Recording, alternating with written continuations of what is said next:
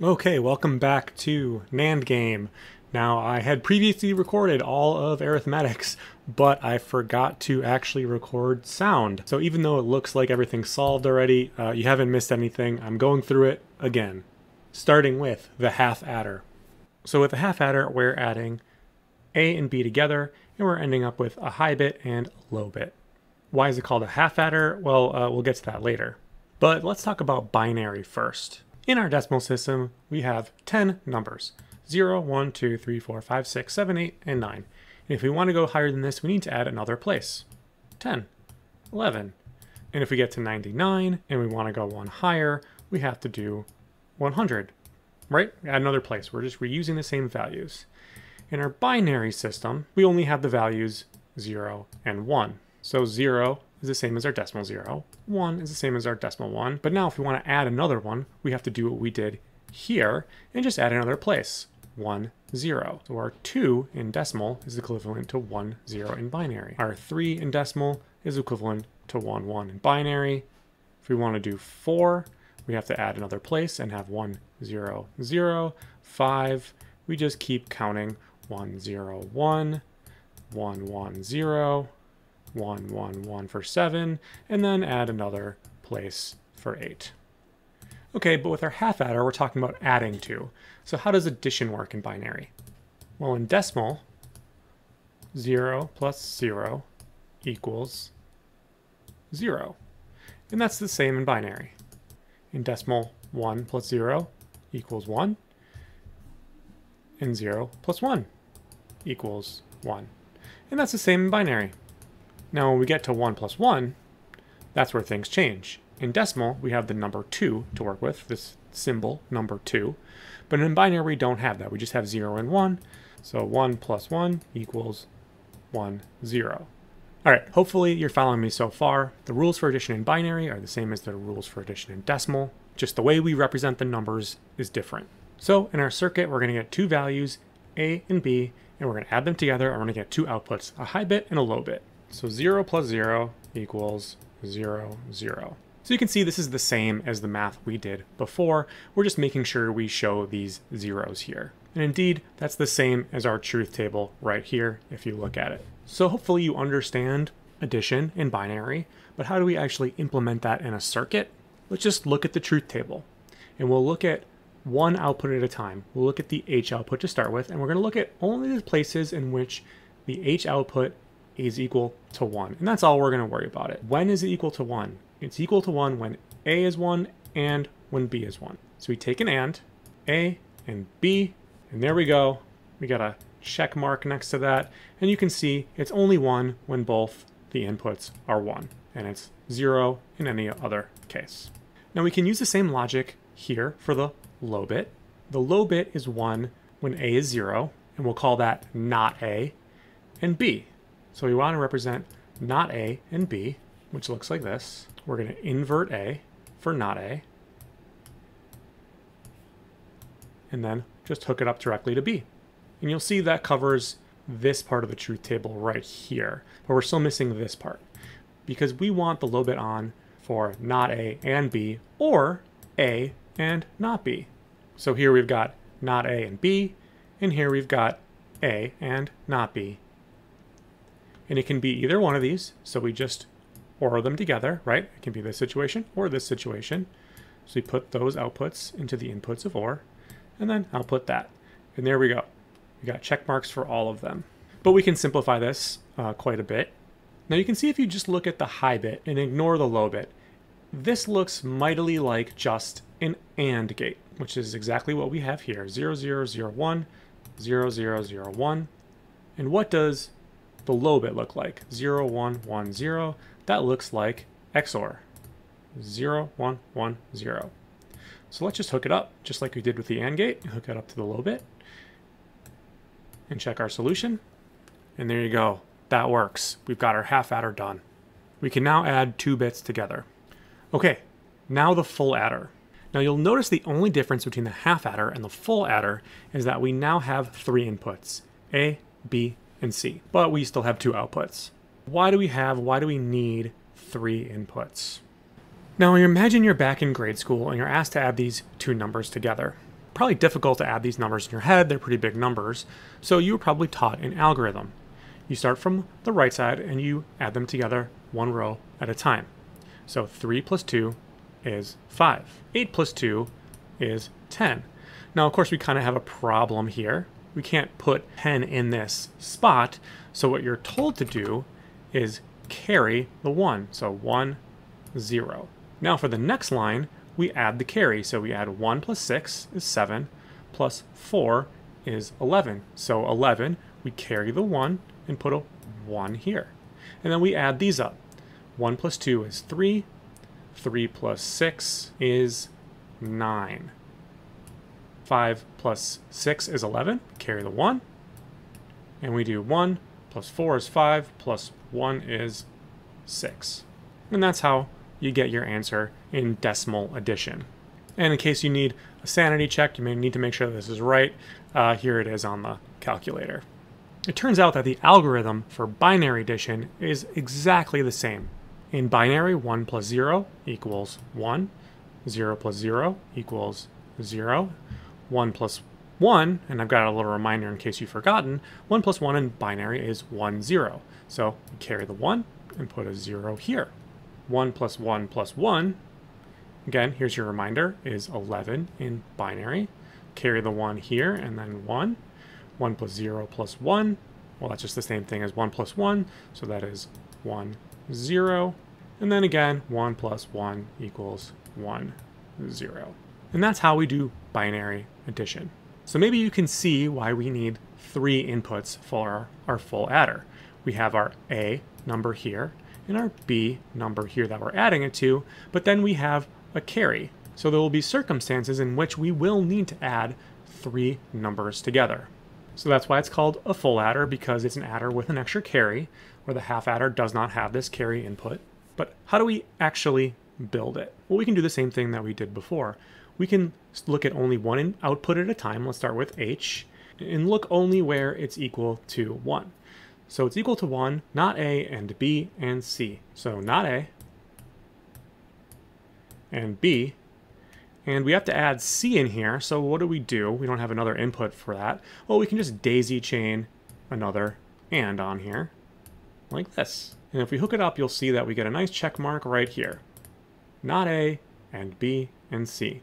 Now we can do them all like this. So It'll be really useful to have this three input AND. Of course, if you wanted to have a four input AND, you could keep doing this, keep daisy chaining ANDs together. But then we can just replace these ANDs with our three input AND to make it a bit cleaner looking. All right, now we can do the rest of them where we have the high component as one. So A and not B and C, A, B, and not C, and A, B, and C. All right, now I believe we've got these all covered. Now again, it can be this one or this one or this one or this one. So we're just gonna OR these all together.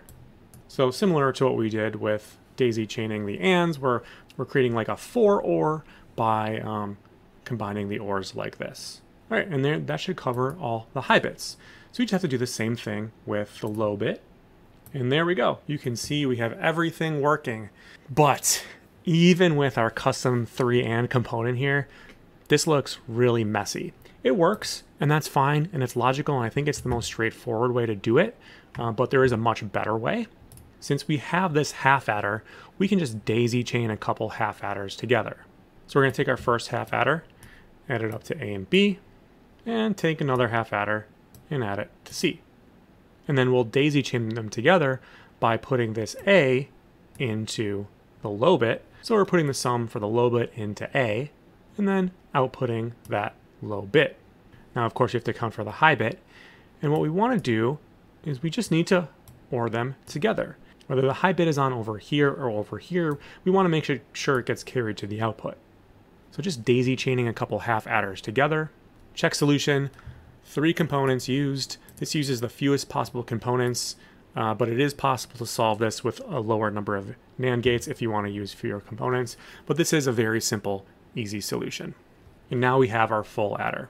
Okay, next is a multi-bit adder, and really all that is is just like we had here, we're adding more than just three bits together, we want to add bigger numbers together. So again, if you have these two numbers you're trying to add together, you start with 1 plus 1, and you get 1, 0. But you have to take this 1 and carry it up here. And you can do the same thing over here. 1, 0, 1, that makes 1, 0. You take this 1 and you carry it over here. You can accomplish this in the circuit really just by daisy chaining full adders together.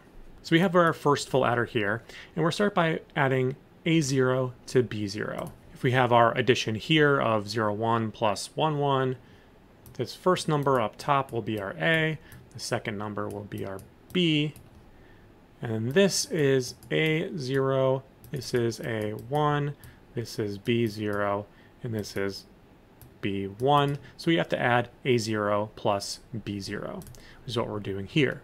And then we'll hook up to the carry, to the carry input here. And this is just in case um, there's a carry from like a previous operation, there might be a carry input like this. So we're adding A0 and B0. Now we got to add A1 plus B1. So A1 goes to A, B1 goes to B. And for the carry, we're going to carry the high bit from the first adder into the second adder. The output of our A0 plus B0 operation goes into S0 for the low bit. Our output of A1 plus B1, the low bit goes to S1. And then the high bit goes to the carry. So we're just daisy chaining these adders together. Check solution, and we got it. Two components used, and this uses the fewest possible components. Um, but again, you can use it with fewer number of NAND gates if you were to do it with simpler components. Uh, but this is a pretty basic, simple, easy solution. And as it says here, uh, we're going to build a 16-bit processor in this game. Now this is only adding two 2-bit numbers, but if you wanted to add more, you just keep adding these adders. You daisy chain the high bit to the carry, and then you do A2 plus B2, put the, out, the low bit to the output, and you just keep going in the same exact pattern for as many numbers as you need. It really is just about daisy chaining these adders together. All right, the next level is increment. So we got to add 1 to a 16-bit number. We're incrementing the number up by 1. We're taking our input A, and we're just going to add 1 to it. So how do we get 1? Well, we can take an inverter, and as long as nothing is hooked up to the inverter, it always outputs 1, so we just hook that up to B, and there we go. We've incremented whatever our input is by 1 by just adding 1 to it. Put the sum as the output, and check solution, this works, two components used, and this is the simplest possible solution. We're just adding one to whatever our input is. Subtraction. So we want to output A minus B. So here's the binary number 1011 that equals 11 in decimal, but that's not important. What we really want to know is how to take this number and make it negative. Now in our normal mathematical system, we would just put a minus sign here. But remember, we're using binary, we're using a computer. All we have are ones and zeros to work with. We don't have a minus sign. So what do you do? Well, you simply add in something called a sign bit, where you designate this number, usually the number that's all the way over to the left, to tell you whether the number is going to be positive or negative. Typically, 0 is positive and 1 is negative, although it doesn't exactly work the way you'd think. Just because 0, 1, 0, 1, 1 equals 11 in decimal, 11011, even though this is the sign bit, does not equal negative 11 in decimal. Not usually. You could design a circuit where it did work that way, but most computers use something called 2's complement, and I'll uh, put a chart on screen so you can see kind of the pattern of 2's complement with numbers. But it's worth noting that just changing the sign bit to a 1 doesn't just turn the number negative usually. It's kind of a different system. And the reason that system is used is really because it makes a lot of mathematical operations just a bit simpler to implement in circuitry. I don't really think you need to know the details of why. Um, I think it's just worth noting here. So maybe you kind of get what's going on, maybe you kind of don't need to, but how do you actually subtract two numbers in circuitry? Well, it's really simple if you're using the two's complement system. You take our adder. If it's A minus B, well, A is positive there, so we're just gonna put plug in A directly into A. Now minus B, we need to turn B negative. How do we do that? We're gonna invert it. Simple. We just invert it, but then we also have to add one. And it's easiest just to add that in in the carry. Right, hook that up and check solution, and it works. the simplest possible solution.